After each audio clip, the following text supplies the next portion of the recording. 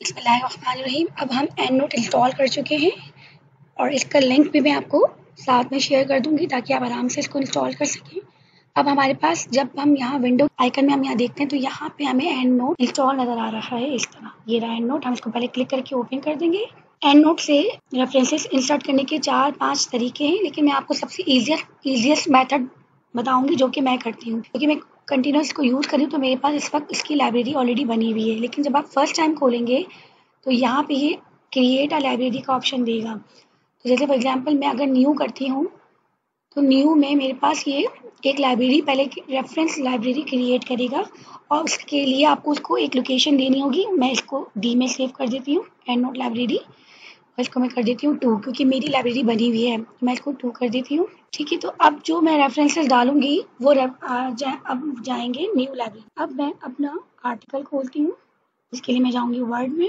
Word में जा जाके मैंने ब्लैंक डॉक्यूमेंट ओपन कर लिया।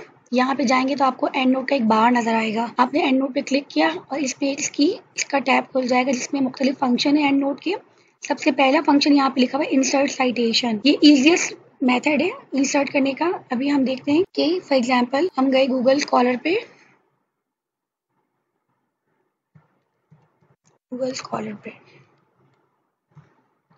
और गूगल स्कॉलर पे हमने कोई चीज़ सर्च की। फॉर एग्जांपल हमने न्यूअर एंटीबैक्टीरियल सर्च किया।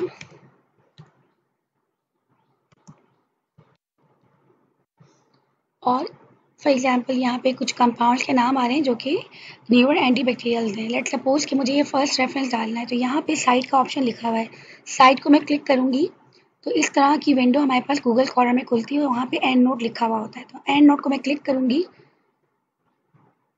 तो यहाँ पे ये डाउनलोड हो गया मेरे पास। इसको मैं दोबारा क्लिक करूँगी तो मेरी जो लाइब्रेरी थी, उसमें ये अपडेट हो जाएगी। जब ये लाइब्रेरी में अपडेट होगा तो मुझे फ़र्स्ट ऑर्डर का नाम यहाँ पे नज़र आ रहा है यंग के नाम से आ रहा है। तो लेट सपोज़ मुझे इस वर्ड डॉक्यूमेंट में और ये ए पी ए स्टाइल है स्टाइल में चेंज कर सकती हूँ। यहाँ बहुत सारे स्टाइल मौजूद हैं।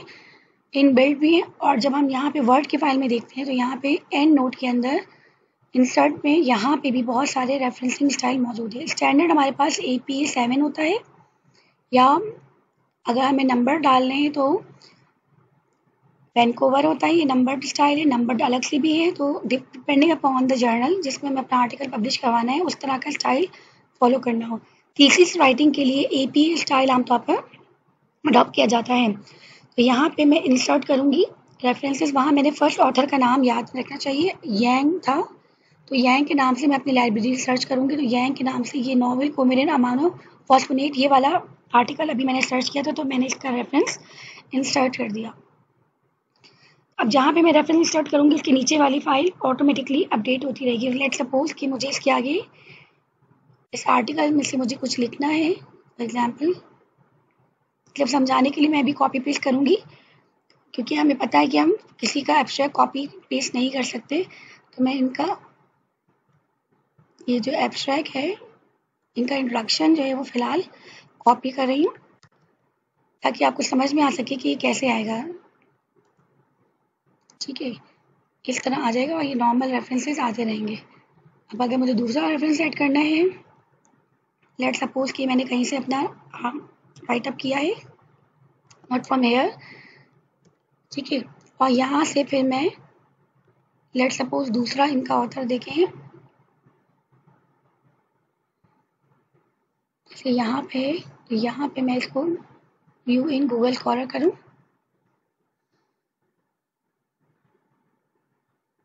और ये अगेन यहाँ पे साइट का ऑप्शन दिया हुआ है। साइट करके मैं इसको एंड नोट रेफरेंस डाउनलोड कर लूँ। और डाउनलोड करके इसको क्लिक करूँगी तो लाइब्रेरी में खुल जाएगा। लाइब्रेरी में खुल जाएगा तो यहाँ पे ऑथर का नाम आ जाएगा बैंक और फिर वहाँ पे जाके जब मैं वर्ड डॉक्यूमेंट में इंसर्ट दोबारा करूँगी, वहाँ पे जो ऑथर का फ़र्स्ट नेम था वो डाल के सर्च करूँगी। ये वाला था current development of coumarin compound in medicinal chemistry insert इस तरह वन बाय वन करके रेफरेंसेस ऐड होते रहेंगे।